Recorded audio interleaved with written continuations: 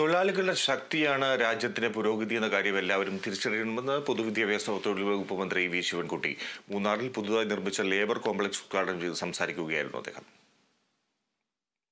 മൂന്നാർ മേഖലയിലെ ലയങ്ങളുടെ പുനർനിർമ്മാണ പ്രവർത്തനങ്ങൾ ഉടൻ നടത്തും. തൊഴിൽ മേഖലയിലെ സാങ്കേതിക വ്യാപനത്തിനനുസരിച്ച് തൊഴിലാളികളുടെ ക്രയശേഷി വർദ്ധിപ്പിക്കാനുള്ള പരിശീലനങ്ങൾ നൽകാൻ തൊഴിലാളി സംഘടനകളും ക്ഷേമനിധി ബോർഡും ശ്രദ്ധ ചെലുത്തണം.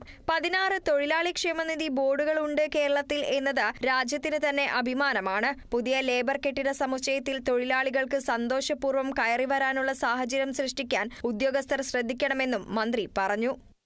രാജ്യത്തിന്റെ ശക്തി എന്ന് പറഞ്ഞ തൊഴിലാളികളാണ്? തൊഴിലാളികളെ മറന്നുകൊണ്ട് ഒരു കാര്യവും ചെയ്യാൻ പറ്റില്ല.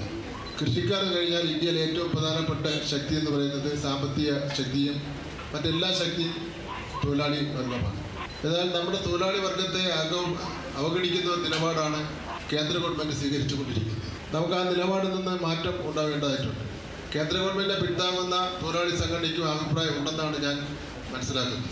മൂന്നാർ പ്രദേശത്ത് പ്രവർത്തിക്കുന്ന തൊഴിൽ വകുപ്പിന്റെ ഓഫീസുകളായ deputy labour office plantation office assistant labour office എന്നിവ ഒന്നിച്ച് ഒരു കോംപ്ലക്സിനുള്ളിൽ സ്വന്തം കെട്ടിടത്തിൽ പ്രവർത്തിക്കുകയെന്ന ഉദ്ദേശത്തോടെയാണ് മൂന്നാർ ലേബർ കോംപ്ലക്സ് നിർമ്മിച്ചിട്ടുള്ളത്. രണ്ട് കോടി മുപ്പത്തി ഏഴ് ലക്ഷം രൂപയാണ് ആകെ ചിലവ്. ചുറ്റുമതിലും അനുബന്ധ കാര്യങ്ങളും നിർമ്മിക്കേണ്ടതുണ്ട്. കെട്ടിട ചുറ്റുമതിൽ സംബന്ധിച്ച് പൊതുമരാമത്ത് വകുപ്പിന്റെ സിവിൽ വിഭാഗം സമർപ്പിച്ച എൺപത്തി ലക്ഷം രൂപയുടെ എസ്റ്റിമേറ്റിന് സർക്കാർ ഭരണാനുമതി നൽകിയിട്ടുണ്ട്.